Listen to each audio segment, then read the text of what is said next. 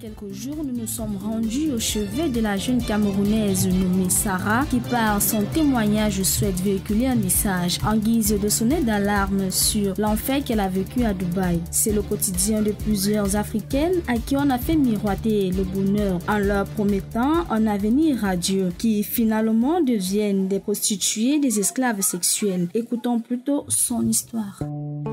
So easy to give it all up when it gets a little tough. Just hold on, hold on to me. Don't let go of what it was when you know you found the way.